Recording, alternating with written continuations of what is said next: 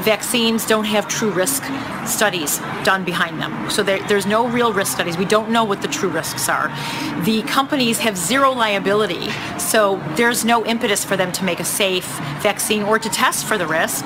And and then they're mandated on top of it. So what other product enjoys being mandated by the government in order to go to school or to work in an environment?